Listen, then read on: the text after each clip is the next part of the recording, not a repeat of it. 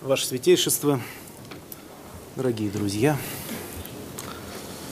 я рад всех приветствовать. Мы только что с Его Святейшеством смотрели юбилейную выставку «Православная Русь». Честно сказать, на меня она произвела очень хорошее впечатление. Я надеюсь, что присутствующие тоже успели на ней побывать.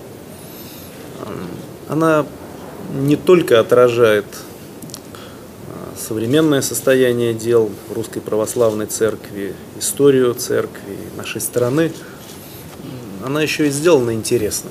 И это, мне кажется, очень важно. И хорошо, что такие выставки открываются. Но несколько слов, прежде чем мы побеседуем, я тоже скажу. Начало второго тысячелетия православия нашей стране, русского православия, стало для огромного количества наших людей временем обретения веры. И это продолжается и сейчас. Дело не только в том, что было восстановлено, построено большое количество храмов, преодолен церковный раскол, почти век разделявший русский православный мир. Возобновилась полнокровная духовная жизнь. Все это за 20 лет. А 20 лет – это, в общем, совсем небольшой промежуток времени. По сути, если говорить об историческом промежутке, то это мгновение. Могу сказать о своих ощущениях. Если говорить о том, что случилось за эти 20 лет с точки зрения моих ощущений как православного человека, это просто чудо. А, и откровенно сказать, я говорил неоднократно об этом святейшему, я не мог себе представить 15 лет назад, там, или 20 лет назад, что вот восстановление, обретение веры для огромного количества наших сограждан пойдет такими темпами. Это было трудно себе представить. И это действительно в этом смысле чудо. Но, с другой стороны, как руководитель государства, как президент страны, я хотел бы также отметить то, что все это следствие труда, служения святейшего патриарха, ваших трудов, энтузиазма благотворителей, которые этим занимаются. И наверное, об этом тоже нужно упомянуть, позиции государства.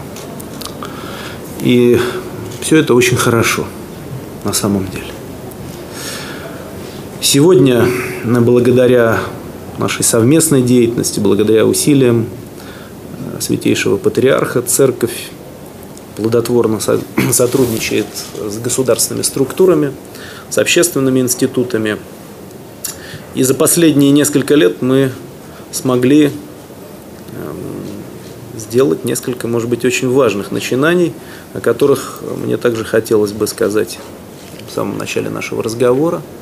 Начинания, о необходимости которых велось много споров, но которые по разным причинам не получали практического воплощения. И я очень рад, что именно вот эти государственно-церковные начинания – смогли состояться в последний период. Я имею в виду, естественно, э, изучение основ православной культуры, введение в российских школах преподавания нового предмета. В течение последних двух лет, начиная с четвертой четверти 9 10 учебного года, учебного года, значит, периода 9-10, ценности и традиции православия, согласия родителей стали изучать дети приблизительно в 10 тысячах школ в 21 регионе нашей страны. А в следующем году основы религиозной культуры будут преподаваться во всех субъектах нашего государства.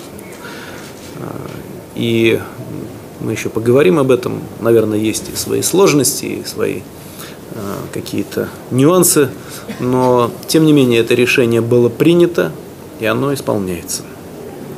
И самое главное, оно приносит пользу. И второе наше общее дело, дело последнего периода, это учреждение в вооруженных силах Института воинских и флотских священнослужителей. Здесь тоже работа разворачивается, разворачивается постепенно. 19 священников, насколько я знаю, уже приступили к работе, к службе. Имеются планы по этапного развития и укрепления этого института. Но, может быть, здесь надо действовать энергичнее, а, и для этого необходимо проявить и государственную волю. А, я считаю, что Министерство обороны, может быть, пора в этом смысле разворачивать более активную работу. А, мы тоже об этом говорили с его святейшеством. И соответствующие поручения Министерства обороны я дам. Еще раз хотел бы отметить, что вокруг этих инициатив с момента их возникновения шли а, достаточно интенсивные споры, горячие споры. А, власти в ряде случаев то поддерживали эти идеи, то отвергали их. Э, менялось и общественное мнение. И еще раз хотел бы сказать, что я очень рад, что вместе с Святейшим Патриархом мы поставили точку в дискуссиях об этих замыслах. И сегодня они реализуются на практике. Конечно, мы живем в сложной стране, но это государство открытое, основанное на ценностях демократии.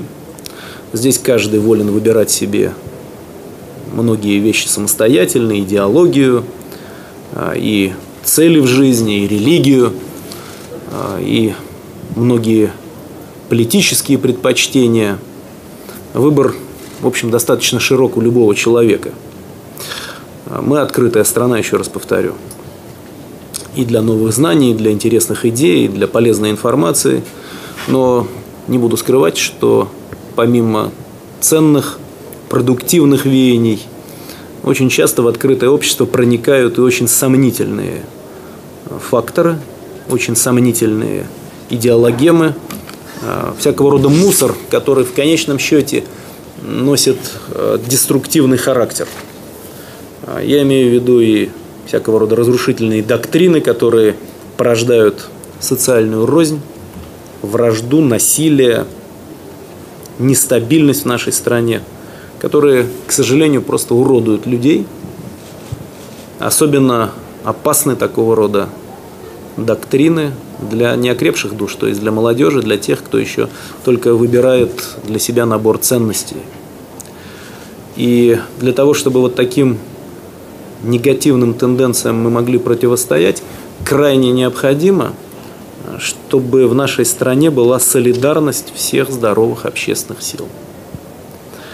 Мы должны находить в себе достаточную энергию воли, чтобы продвигать традиционные для нашего государства ценности – Особенно это важно в сложном и быстро меняющемся мире, в глобальном информационном пространстве, которое создает не только преимущества, но и очень серьезные вызовы. И хранителем таких неприходящих ценностей для нашей страны, непреложных истин, в нашем государстве выступает православие. Оно помогает огромному количеству наших людей не только найти себя в жизни, но и понять, казалось бы, нехитрые вещи, ну, например, такие, что значит быть русским. В чем миссия нашего народа? Что в определенный период сделало наш народ великим, самобытным, а что в какой-то момент создало для нашего народа и для нашего государства – для православной церкви большое количество испытаний. История нашей страны неразделимо связана с православием.